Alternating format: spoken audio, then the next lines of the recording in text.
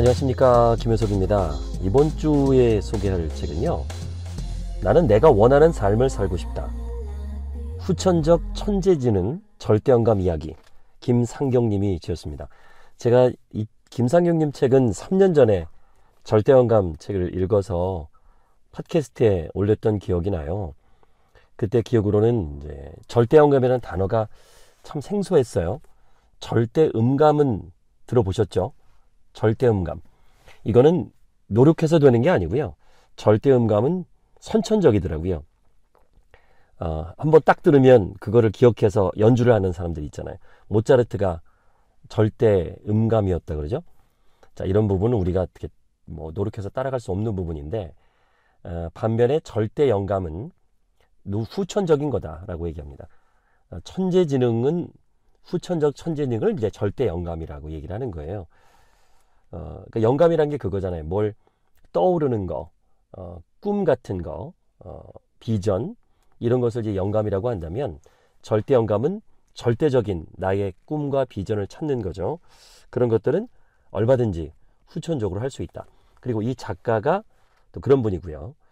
저 해남의 그 촌, 완전 촌, 깡촌에서 태어났습니다. 60, 1967년생인데 정말 노력해서 노력해서 흑수저에서 아시아나 항공의 어, 차장, 어, 또 교육팀장을 역임을 하고 어, 탄탄대로가 있는데도 불구하고 과감하게 은퇴를 하고 지금은 본인의 꿈을 이루기 위해서 프리랜서, 작가, 강사, 컨설턴트로 활동하고 있는 분입니다.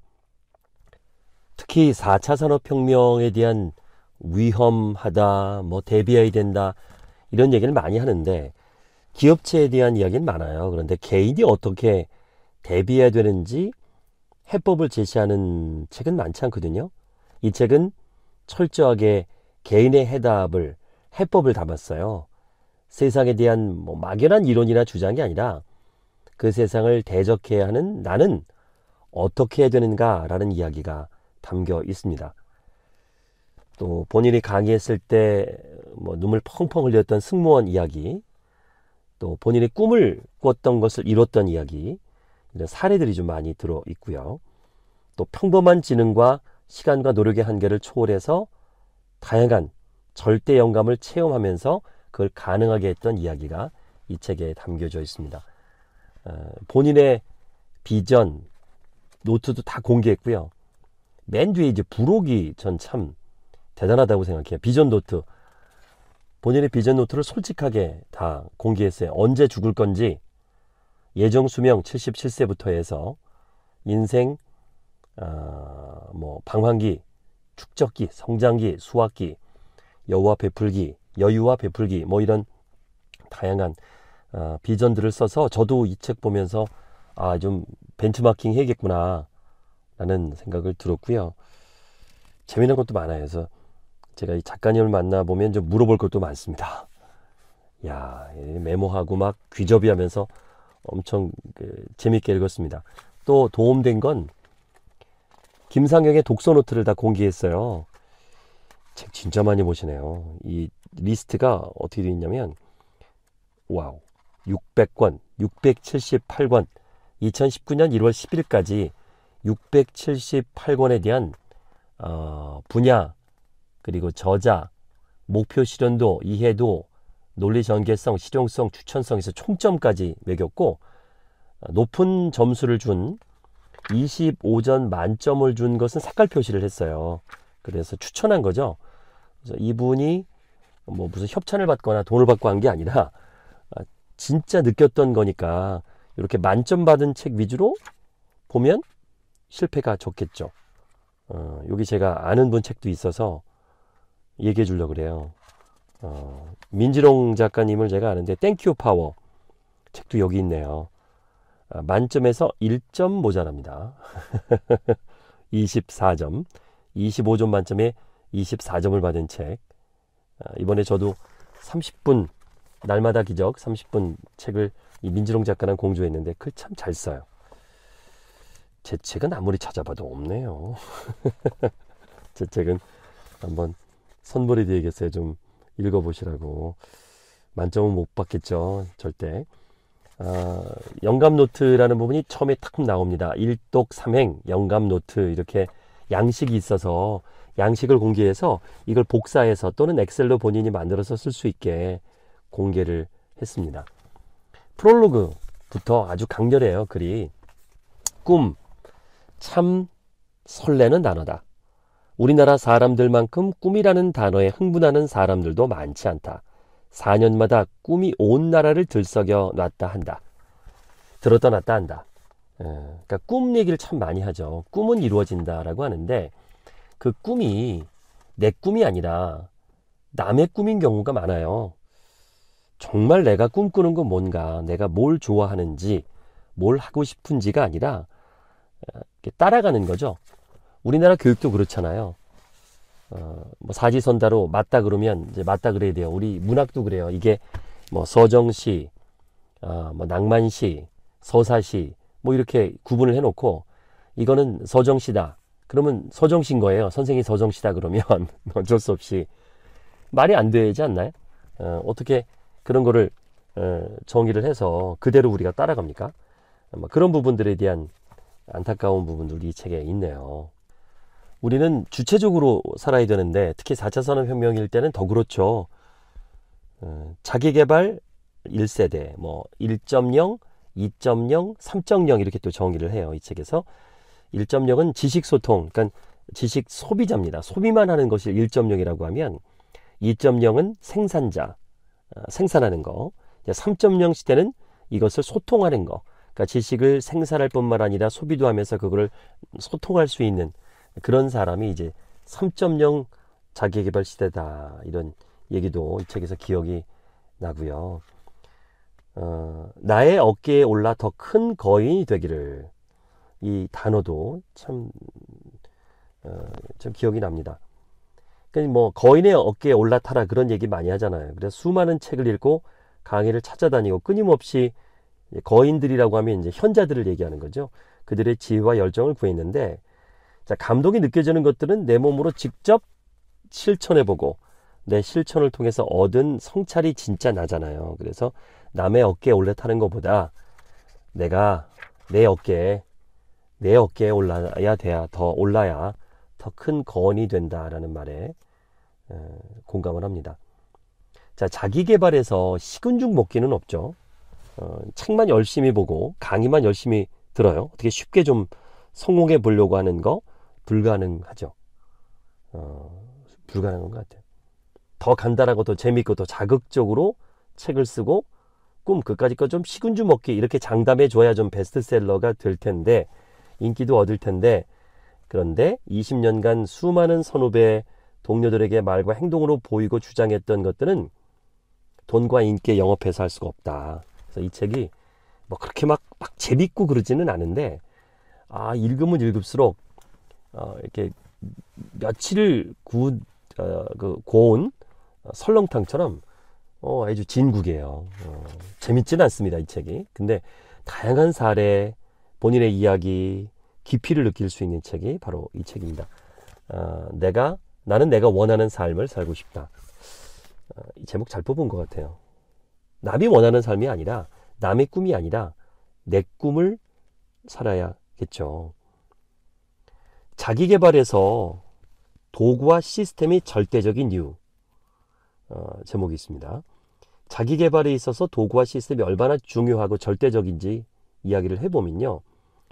돌도끼를 들고 짐승의 뒷공부리를 쫓아다니던 인간이 4차 산업혁명을 논할 만큼 발전할 수 있었던 것은 이 도구와 시스템이 있었기에 가능합니다. 인간의 물리적인 힘과 속도는 짐승의 상대가 될 수 없잖아요. 물리적인 힘과 속도가 세상을 지배한다면 인간은 이미 고대 시대 멸종됐을 겁니다. 인간은 창조적 지능을 갖고 있고요. 그 창조적 지능에 의해서 자신들의 추상적 생각을 구체적 현실로 적용을 하고 반영할 수 있는 도구를 만들고 시스템을 만들어요. 저도 그래서 90일 어, 성공 플래너 그 도구를 사용하죠. 어, 플래너를 사용하거든요. 그리고 그 시스템을 이용을 하는 거예요. 그 시스템에 나를 집어넣어야 되는데 그 도구도 없고 시스템이 없으면 자기 개발이 되지 않는다라는 거죠. 기업도 그렇잖아요. 시스템도 없고 도구도 없으면 그 많은 수많은 일들이 어떻게 이루어질까요? 택배 같은 거 다 시스템이잖아요. 개인의 성공과 행복도 그래요. 속된 말로 삽질 인생을 살고 있지 않다면, 살고 싶지 않다면, 뭐 쉽고 빠르고 안전하게 자신의 꿈과 목표에 다다르고 싶다면 반드시 도구와 시스템을 활용해야 됩니다. 목표와 계획을 수립하기 위해서 목표와 계획을 잊지 않기 위해서 자기 자원을 효율적으로 관리하기 위해서 아무리 뛰어난 천재라도 메모하고 자신이 갖고 있는 시스템이 있습니다. 어, 그러면 그 시스템은 어, 일단은 다른 사람이 해놓은 것을 좀 모방할 수는 있죠. 결국에는 나에 맞는 도구와 시스템을 개발해야 돼요. 처음에는 기존 것을 갖고 활용을 하지만 결국 내가 활용해야 된다. 어, 저도 그래서 이 90일 성공 플래너를 처음 만났을 때 정찬호 박사님이 만들어준 거를 쓰고 그 다음에 제가 어, 스타트 에디션을 만들어서 조금 쉽게 어, 그 개발을 했거든요. 이제 또 이순신 플래너를 좀 만들어 볼 생각을 갖고 있어요. 그래서 난중일기를 썼던 이순신 장군의 정신처럼 매일매일 기록을 하는 그런 의미를 좀 갖고 오고 싶은 그런 꿈을 갖고 있습니다. 자, 보통 사람들을 위한 평범한 이들에게 필요한 자기개발 얘기를 좀 해드립니다. 아시아나항공 인재개발팀에 근무했던 이 필자가 매년 방학이 되면 직원 자녀들을 용인에 있는 그룹 연수원에 초대해서 뭐 비전 캠프, 리더십 캠프 등을 진행했대요. 보통은 한 반에 30명, 많으면 60명을 모집을 했는데 할 때마다 인원이 부족할까봐 노심초사했습니다. 모집단이 직원 자녀로 한정된 데다가 방학이면 해외로 여행을 떠나는 가족이 많았기 때문이래요. 그런데 장대비가 내리던 어느 해 여름에 60명 모집에 무려 137명의 자녀들이 모집된 적이 있었습니다. 근데 그 이유가 제목 덕분이었대요. 서울대생 멘토와 함께하는 비전 캠프. 자, 이 서울대생 멘토라는 게 꽂힌 거죠. 어, 평소 친하게 지내던 출판 기획사 사장님, 업계에서 베스트셀러 제조기로 통하는 20년 경력자인 이분 누군지 압니다. 양원근 어, 그 사장님이십니다. 이런 얘기를 했대요. 우리나라에서 기본 판매량이 보장되는 주제를 알려드릴까요? 한국에서는 제목에 하버드와 유태인 교육이 들어가면 기본 수량은 판매됩니다. 자, 안타깝지만 마음은 충분히 이해가 되는데 에, 그런데요. 서울대 법대생이나 하버드 법대생에게 공부법을 배운다고 과연 몇 명이나 서울대나 하버드를 갈 수 있을까요? 대부분의 아이들은 허황된 거죠. 그런 마케팅적인 측면이 아니라 진짜 진짜 할 수 있는 것. 상위 1%만 하는 것이 아니라 99%를 할 수 있는 것. 그게 진짜 자기 개발이지 않을까요? 어, 그런 이야기를 썼습니다. 그래서 너무 뭐 이렇게 하버드니 뭐 서울대생이니 너무 흉내내지 말라는 얘기죠. 실제로 내가 할 수 있는 것부터 쉬운 것부터 내 것부터 시작하는 게 맞습니다. 그래서 꿈은요 학습이 필요한 거고요 해야 배워야 되고요 결국 실천을 해야 이루어지는 거잖아요. 그래서 배울 필요가 있을 것 같아요. 음, 배워야 돼요 꿈은 꿈을 찾는 거, 어, 뭐 꿈을 이루는 거, 꿈 이루는 방법들. 음, 그래서 목차를 보면 자기개발 3.0 시대 어떻게 살아가고 계십니까? 아까 말씀드린 그 부분이죠. 1.0은 소비, 2.0은 그, 그 생산, 그리고 3.0은 이제 소통의 시대다. 그런 이야기. 어, 그 유튜브를 보면 지식 소통자들이죠. SNS를 통해서 단순히 책을 쓰고 일방적인 게 아니라 쌍방향으로 소통하는 것. 그것이 자기개발 3.0 시대인 것 같습니다. 또 융합 창조 시대 그런 이야기도 마찬가지고요. 어, 독서를 통해서 만나고 그것을 활용하고 그것을 나누는 거. 그러니까 책을 쓰는 작가 또는 책만 있는 독서 어, 구독자가 아니라 어, 이것을 소통하는 소통가들. 어, 읽었던 것을 이제 이건 외화라고 이제 표현합니다. 내화, 외화 이렇게 책에 나오는데 외화시킨다. 밖으로 이렇게 표현한다. 어, 그렇게 해야만 자기개발 3.0 시대에 우리가 되는 겁니다. 4차 산업혁명에서 버틸 수 있는 어, 성공할 수 있는 자기개발 3.0이 되는 거죠. 75페이지 인재가 인재를 알아본다. 인적자원 권리 핵심은 인재 영입이잖아요. 뭐 지인도 그렇고 주변에 인재가 많아야 그 사람과 함께 일을 할 수 있죠. 어, 사람들의 됨됨이와 능력이 사귐의 이제 으뜸 기준이 돼 가고 있어요. 그런데요, 어, 인재를 확실하게 내 가까이에 두는 방법은 간단합니다. 스스로 인재가 되는 거죠. 내가 인재가 되면 새로운 인재를 찾아 나서지 않아도 되는 거예요. 인재를 찾는 시간과 노력을 쏟지 않아도 주변에 인재들이 모여들죠. 인재는 인재를 알아보잖아요. 그래서 자신에게 찾아온 인재와 인연을 만들면 됩니다. 그가 나를 알아보고 내가 그를 알아보면 인연으로 발전시키는 방법이 되는 겁니다. 그러니까 인재 사냥보다는 자신이 인재 사냥의 사냥감이 되는 것이 낫다. 그게 가장 경제적이고 효율적인 인재 사냥이다. 그러네요. 본인은 노력하지 않으면서 공부하지 않으면서 똑똑한 사람들하고 사귈려 그러는데 에, 말이 안 되죠. 그래서 부자가 되고 싶은 분들은 부자들이 많이 모인 곳에 간다 그러잖아요. 그래서 좀 무리를 해서라도 어, 뭐 식당을 가본다든가 경험을 해본다든가 이렇게 본인이 겪어봐야 그들과 대화할 수 있으니까요. 내가 책을 읽어야 인재가 말하는 걸 알아들을 수 있죠. 그래서 책이 더 중요한 것 같아요.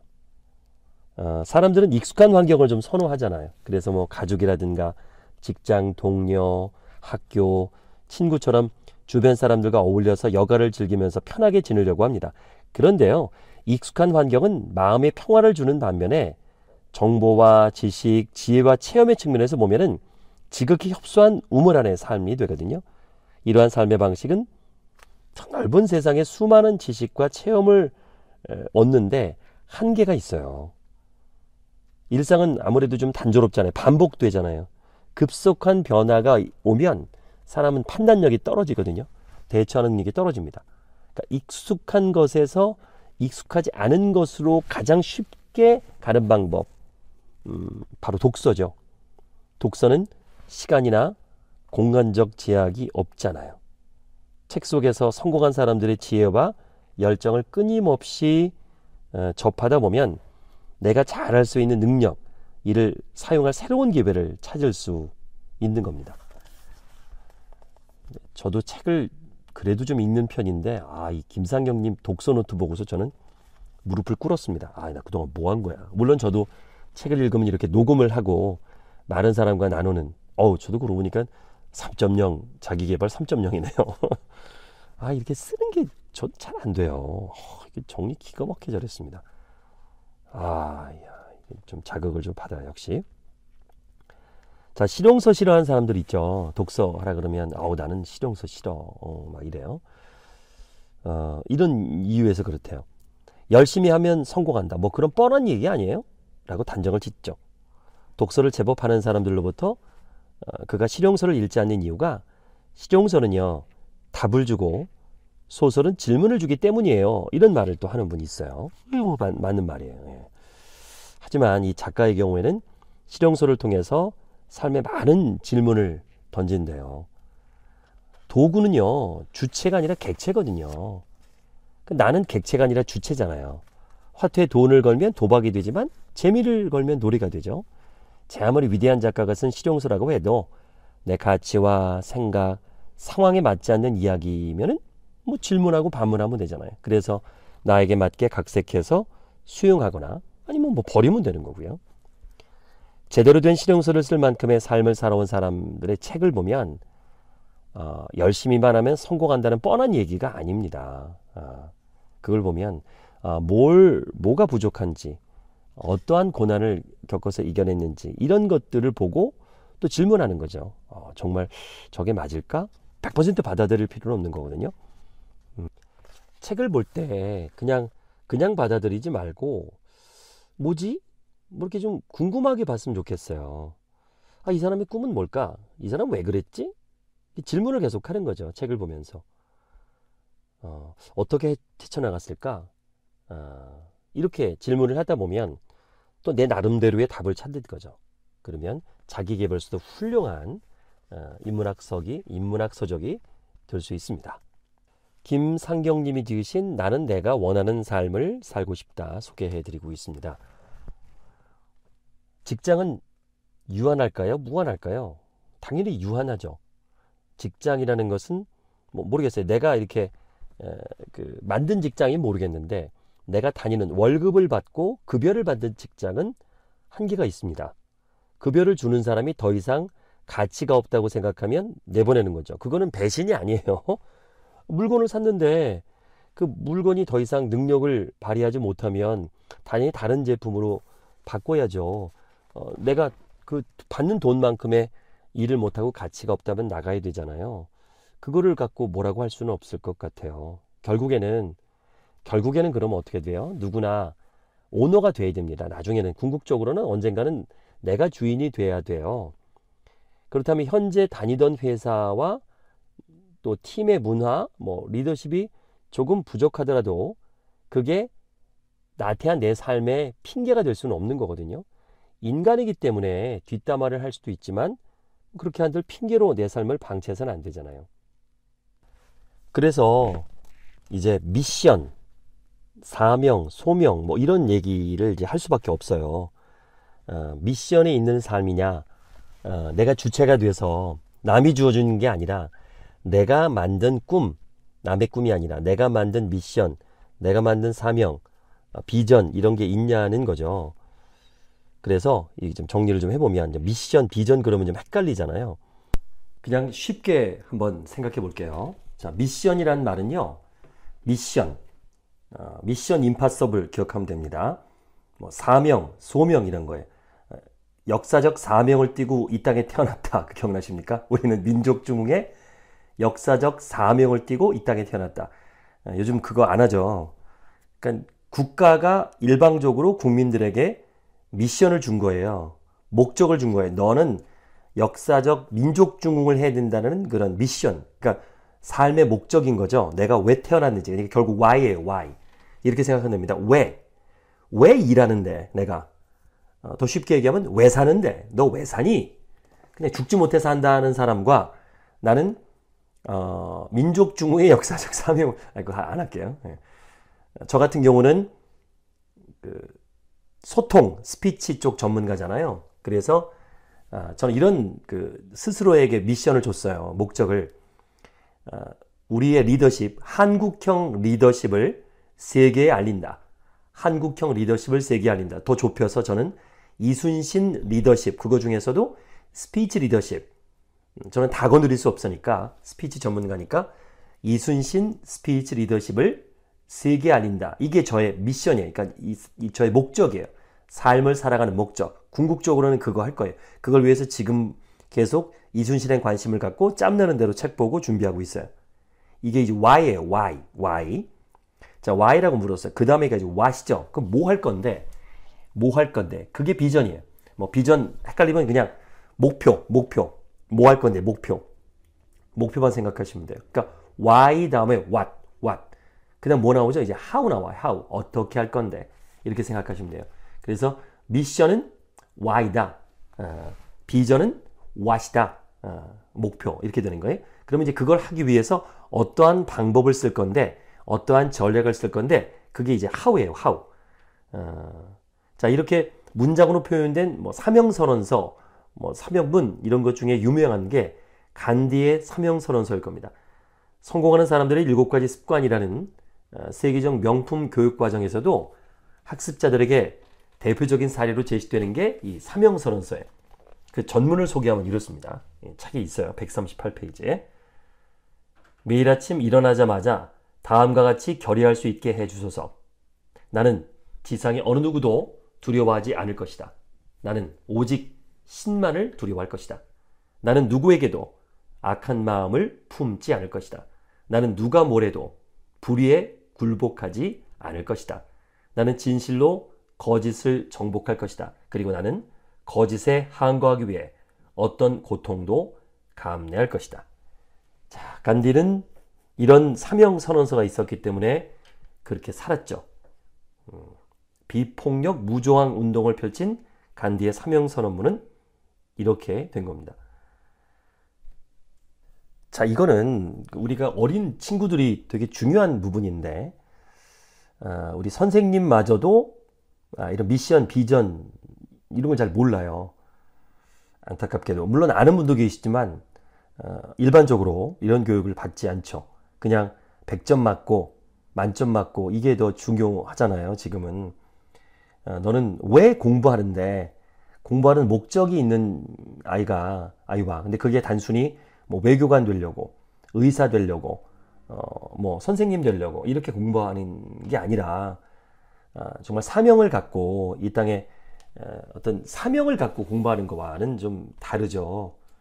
나만 잘 먹고 잘 살자라는 것보다는 자, 이 꿈이라는 단어, 어, 저도 공감하는 부분인데 귀저비를 했어요. 이 책에서 142페이지에 있는 얘기인데, 자, 꿈이라는 단어 자체가 쓰임이 참 모호해서 그래요. 우리가 이 미션 비전을 잘 모르는 게 꿈은 이루어진다라고 그냥 막연히 얘기하는데 그 꿈이 뭐야 그러면 또 애매해요. 꿈이 뭐야 그러면 아이들은 직업을 얘기해요. 연예인이요. 뭐 요즘엔 그렇다면서요. 중학생들 얘기하는 게 어, 건물주요. 이게 꿈이야. 정말 그게 꿈일까요? 건물주? 음, 참 애매해요.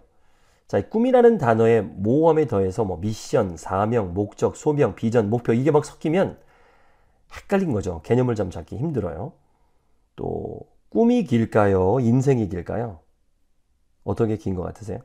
인생이 더 길죠. 인생이 더 길죠.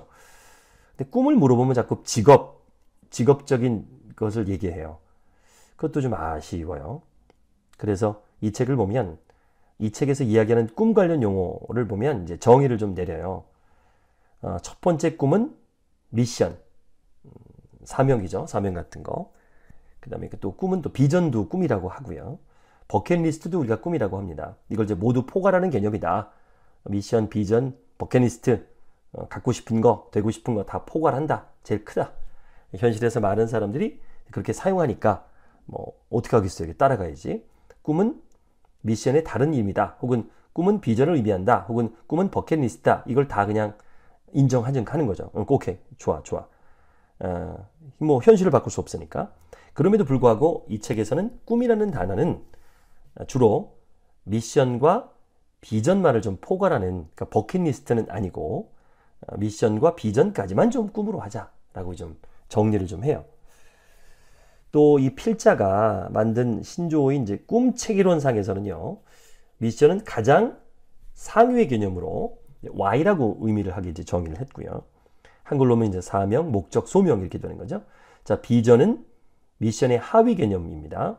미션을 이루기 위한 여정에서 단계별로 성취해야 될 과제를 의미해요. what, what.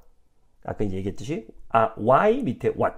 그 다음에 이제 how가 있는 거죠. why가 있고 what이 있고 how. 어. 자, 셋째는요. 꿈보다 인생이 길다는 걸 이제 아까 말씀드렸잖아요. 그러니까 뭐가 더 소중하다? 꿈보다 예, 인생이 더 소중하다. 이건 뭐 정의를 내리는 게 아니라 이제 진리죠. 우리가 꿈에 대해서 생각할 때 자꾸 그 사실을 잊어버리는 것 같아서 이 진리를 좀 확인시키는 겁니다. 꿈이라는 단어가 가지고 있는 이 마약 같은 설레임 때문일까요? 우린 자꾸 하나의 꿈에만 목을 매달고 살아요. 뭐 서울대생, 카이트생, 뭐, 뭐 하버드, 뭐 그러니까 이제 성취한 다음에 자살을 하는 친구들을 뉴스에서 만날 수 있죠. 어, 스카이캐슬을 보더라도 어, 서울대 합격하고 이렇게 어, 뭐, 뭐 이런 거 있잖아요, 그죠? 그래서 꿈 체계론이 좀 필요하다. 미션, 비전, 전략, 계획. 뭐 쉽게 얘기하면 why, 그 다음에 what, 그 다음에 how 이렇게 되는 거죠. 그렇게 정리를 좀 할 필요가 있다. 이거는 되게 중요한 얘기예요. 음, 그래서 이게 체계를 좀 알아야 돼요. 그래서 어, 전략적으로 우리가 나중에 how까지 가는 거죠. 어떻게 할 건데 그냥 꿈만 꾸지 말고 뭐 할 건데 그러면 어떻게 할 건데 진짜 네가 어, 서울대 가고 싶어 그럼 뭐 할 건데 서울대 가서 어, 뭐 자꾸 물어보는 거죠. 거기에 답을 못하면 의미가 없는 거예요. 자꾸 우리가 질문을 해야 된다고 화두를 던집니다. 이 책 227페이지를 그또 소개합니다. 자기 개발은 외화와 공유로 완성된다. 이 외화라는 게 외국 영화를 얘기하는 건 아니고요. 어, 밖으로 표현하는 거, 어, 내화, 내, 내 쪽으로, 안쪽으로 내가 이렇게 체화되는 거, 그리고 외화는 밖으로 이렇게 어, 표출하는 거, 이런 걸 얘기하는 거예요. 어, 이 책을 필자가 쓴 것도 혼자만 알고 있는 게 아니라 이걸 공유하고 나누고 싶어서 그런 겁니다. 그래서 본인의 비전 노트, 뭐 독서 노트를 다 공개했어요. 이게 쉬운 건 아닌데 이게 공유하고 나누는 거를 실천하고 있는 거예요. 저도 굉장히 공감하는 건데요. 자기 개발의 그 꽃은 어, 나누는 거예요. 나누는 거. 어, 내가 나누는 거예요. 혼자만 갖고 있지 않고 공유했을 때 그게 더 커져요. 그걸 되게 많이 느껴요, 저도. 공유를 하면 또 반전이 일어나요. 퍼주면 잃을 것 같은데 더 채워지거든요. 그래서 제가 이렇게 유튜브를 하고 책을 읽고 나누고 이러는 것도 다 그런 의미입니다. 막 이렇게 퍼주는 게 남을 위하는 것 같지만 결국은 나를 위하는 것을 저는 진작부터 알았거든요. 어, 234페이지에 보면 지혜를 넓히는 키우 어, 지혜 넓이를 키우는 공유의 네 가지 기술이라고 있는데요. 첫 번째, 모범, 그러니까 행동을 통한 나눔의 행복. 내가 먼저 실천하는 거. 어, 모범을 통한다. 모범은 사랑이다. 그러니까 내가 시범을 보이는 거죠. 어, 저도 가족에게 모범을 보이려고 되게 노력을 많이 해요. 가까운 사람한테 진짜로 모범 보이기가 어렵거든요. 음, 항상 조심하고 갚지 안 하려고 노력하고 이런 부분들 분명히 내 행동 속에서 배우는 게 있어요. 가까운 사람들이. 두 번째로는 대화를 통해서 그 나눔의 행복을 갖는 겁니다. 2단계인데요. 어, 나눔의 2단계인데 대화하는 거예요. 대화는 가장 초보적이면서도 가장 중요하게 이용되는 외화의 수단이에요. 밖으로 이렇게 표현하는 거. 모태부터 태어날 때부터 가지고 나온 능력이기 때문에 누구나 사용할 수 있는 기본적인 수단입니다. 하지만 너무 쉽게 얻은 능력이다. 그런지 생산적으로 사용할 생각을 잘 못하는 것 같아요. 가벼운 농담과 잡담도 삶을 풍요롭게 만드는 재료가 될 수 있거든요. 하지만 대화가 농담과 잡담 일색이라면 문제가 있겠죠. 때로는 진지할 삶의 이야기도 필요한 겁니다. 자기 개발에 초보라 할지라도 때로는 자신의 지혜를 다른 사람과 나누려는 진지한 노력과 시도가 필요합니다. 대화는요, 자기를 성장시키는 강의와 지필보다 마음 편하게 자기 생각을 드러내는 가장 좋은 방법이죠. 내가 가고자 하는 길을 다른 사람의 시각과 가치관에 의해서 지배당해서도 안 되지만 그렇다고 자기만의 독선과 아집으로 외길을 가는 것도 위험한 거고요. 음, 내 비전과 그 실천 방법을 평가하는 잣대 어, 일관성을 유지하되 타인과의 대화로서 어, 이런 시장의 소리를 들으면서 객관성을 확보하려고 노력을 하는 거죠. 1대1 대화도 좋고요. 1대 다수 대화도 좋고요. 자꾸 이렇게 얘기해 보는 거예요. 사람들에게 얘기해 주는 거죠. 음, 독서를 해도 어, 자꾸 얘기하는 거예요. 이걸 잘하는 사람이 이제 강호동이에요. 이 친구는 책을 읽으면 가만히 못 있어요. 주변에 자꾸 얘기하고 다녀요. 그, 그걸 표현해야 됩니다. 그래야 어, 나누는 거예요. 공유가 되는 겁니다. 잘난 척 하라는 얘기가 아닙니다. 자, 세 번째는 강의를 통해서 나눔의 행복을 갖는 거예요. 어, 내가 어떻게 강의를 해? 나는 강의 못해. 어, 이렇게 생각하지 마시고, 어, 강의를 꼭 수백 명, 수십 명 앞에서만 하는 게 강의가 아니에요. 한 명한테 하는 것도 강의예요. 그래서 저는 유튜브를 권해요. 살고, 살면서 가졌던 많은 지식들, 지혜, 경험들을 혼자만 앓고 뭐 죽지 말고 우리가 좀 나누려면 유튜브라는 좋은 매체가 있잖아요. 어, 공개된 매체. 거기에 올리시는 거예요. 그것도 강의예요. 그 강의를 듣고 공감하고 도움받는 사람은 계속 어, 당신의 강의를 찾아볼 거예요. 누가 되더라도 도움이 될 수 있습니다. 음, 그래서 뭐 요즘에 요즘에는 스마트폰이 다 녹화가 다 되니까 유튜브가 되니까 마이크만 있으면 되고 삼각대만 있으면 됩니다. 그 다 사봐야 3만 원밖에 안 되거든요. 그래서 저는 어, 유튜브를 좀 해야 된다. 어, 그런 주장을 합니다. 저도 이 유튜브 덕분에 어마어마하게 많은 것을 얻고 있어요. 저는 퍼준다고 생각하는데 아닙니다. 제가 더 많이 얻어요. 강의를 통해서. 그리고 네 번째가 지피를 통해서 나누는 거예요. 어, 이 글에서 얻는 그 또 신뢰가 있거든요. 이 말은 그냥 해버리면 수습이 안 되는데 이 글은 고칠 수가 있고 또 계속 수정할 수 있고 곱씹어 생각할 수 있고 물론 동영상도 여러 번 반복해서 볼 수 있지만 잘 그렇지 않잖아요. 근데 글은 앞뒤로 얼마든지 앞으로 봤다 뒤로 봤다 내가 편하게 할 수 있기 때문에 이 활자가 된 활자도 어, 말 이상의 힘이 있어요. 그래서 좀 이렇게 지필을 꿈을 가졌으면 좋겠어요. 처음이 어렵지 뭐 굳이 책을 쓰지 않아도 내가 어, 나의 의견을 나의 지식을 나의 어떤 소감을 어, 쓰는 거죠. 어, 플래너에 쓰든 블로그에 올리든 페이스북에 올리든 이렇게 활자화된 글이 힘을 갖게 됩니다. 이렇게 네 가지로 자신의 어, 지혜, 경험을 나누는 거. 이게 자기개발 3.0 시대 우리가 사는 겁니다. 나는 내가 원하는 삶을 살고 싶다 소개해 드리고 있습니다. 김상경 님이 지으셨습니다. 248페이지 소개합니다. 감동 소비자가 아닌 감동 생산자가 되는 방법. 아, 좋습니다. 우리는 소비자가 아니라 생산자가 되어야 된다. 그것도 감동. 자, 새로운 감동을 쫓아만 다니는 감동 수집가들이 많죠. 참 많이 만납니다. 음, 이제 어, 언제까지 소비만 하실 거예요? 생산을 하자. 자, 감동은 사람은 감동 소비자와 감동 생산자로 나눌 수 있는데 감동 소비자는 마음만 움직이는 사람들. 즉 감동 수집가죠. 감동 생산자는 마음과 뭐가 움직이죠? 예, 몸이 움직이는 사람들입니다. 그들은 마음과 몸이 따로 놀지 않습니다. 문제는 마음이 움직인 바를 몸으로 움직이는 사람들이 희소해졌고 그와 같은 감동 소비자들이 놓친 기회는 감동 생산자들의 독차지가 되었다는 데 있습니다. 그렇게 세상은 감동 생산자들에게 부와 명예를 헌납하죠. 바로 이것이 감동 소비자들이 손에 넣고 싶어서 그토록 갈망했던 결실이지만 결코 그들은 손에 넣지 못합니다. 감동만 하는 사람들은 감동을 실행하는 사람들을 절대로 이길 수가 없거든요. 그러면 감동 생산자가 되려면 뭐가 있어야 되느냐? 에너지가 필요해요. 감동을 실행하기 위해서는 실행하기 위해서는 의지력과 인내심이라는 에너지가 필요합니다. 타고난 유전자 덕분에 이 에너지를 많이 가진 사람도 있겠지만 대부분의 사람들은 의지력과 인내심 에너지를 그리 많이 갖고 있지는 않습니다. 그래서 자신과의 고난, 고단한 싸움을 지속하는 경우가 대부분이죠. 자, 이 필자가 말하는 의지력과 인내심의 에너지를 공급하는 방법은 이제 두 가지입니다. 첫 번째 방법은요. 주변에 멘토를 배치하는 거예요. 즉 멘토가 될 만한 이들을 적극적으로 발굴해서 사방에 배치해 놓는 거예요. 그들이 언제 잽 펀치를 날리도록 나를 드러내는 겁니다. 멘토들의 잽은 나의 의지력과 인내심을 키우는 에너지가 돼요. 잽 펀치는 나를 긴장하게 해서 어떻게든 다음 공격 기회를 찾게 하는 훌륭한 자극제가 됩니다. 이 펀치가 나를 잽도 안 되는 것에서 잽도 되는 복서로 만들어줍니다. 아, 잽도 안 돼. 야, 이 잽도 안 돼가 거기서 나온 말인가요? 잽도 안 돼. 잽, 잽, 잽. 그리고 나서 어퍼컷을 날려야죠.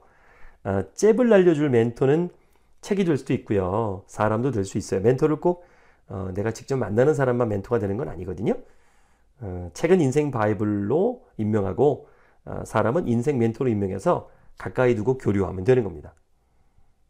자, 그 다음에 이제 인생 멘토들과 교류를 해겠죠. 어떤 사람이 인생 멘토라는 생각이 들면 인연 노트의 중요도에 이제 김상경님은 인연 노트가 있어요. 거기에 이렇게 별 3개, 뭐, 거리 필드엔 4촌 이렇게 표시를 한대요. 감동 생산자가 되는 두 번째 방법은요. 내 자신이 감동 전파자가 되는 거예요. 전파자. 그냥 단순히 감동 소비자가 아니라 어, 전파하는 거죠. 책이나 사람으로부터 자극을 통해서 에너지를 보충받는 것도 중요하지만 그것만으로는 2% 부족하거든요. 사실 내가 자극을 얻을 때보다 내가 자극을 줄 때 더 많은 에너지가 만들어집니다. 나도 직접 잽을 날릴 줄 알아야 된다는 거죠. 이것이 우리를 감동 소비자에서 감동 생산자로 만드는 겁니다. 사람은 타인의 인정과 존경을 먹고 사는 동물이잖아요. 성공에 대한 본능 안에는 그 성공을 인정하고 추앙해주는 사람들의 평가와 시선이 있습니다. 무인도에 혼자 살면서 치열하게 자기 개발하는 사람은 없어요. 부와 명예를 추구하는 것은 어떻게 보면 인정받고 싶은 거죠. 사람들에게 존경받고 싶은 마음이 있잖아요. 그래서 그걸 이제 사람들에게 자꾸 표현하는 거죠. 감동을 표현하는 거죠. 감동은 사람을 움직입니다. 마음에서 번뜩이는 영감을 느낄 때 한 걸음 전진할 수 있는 용기와 의지가 생겨요. 이 용기와 의지를 잃지 않기 위해서 감동을 가득 머금고 있는 멘토를 내 삶에 배치하고 그 감동 에너지를 나 자신의 실천과 은미로 증폭시키는 감동 생산자. 그 승화된 감동을 또 다른 사람의 아름다운 삶의 삶을 위해서 나눠주는 감동 전파자가 되어야 됩니다. 아이고, 참 좋아요, 이 책. 이 뒤에 부록은요, 어, 전에도 말씀드렸지만 대단합니다. 이 부록을 보면 이 부록만 갖고도 도움이 되실 거예요. 너무너무 좋습니다. 김상경 님이 지으신 내가 나는 내가 원하는 삶을 살고 싶다. 여러분이 진정 원하는 삶을 살고 싶다면 이 책을 보시고요. 문제는 내가 원하는 삶이 뭔지 모른다는 거죠. 그래도 이 책을 보십시오. 자극을 받으실 수 있고요. 그리고 정말 원하는 삶이 뭔지 모른다면 저를 찾아오십시오. 저의 그 90일 성공 플래너 어, 제가 하는 어, 김현석의 설득쇼에 오시면 제가 찾아드리겠습니다. 감사합니다.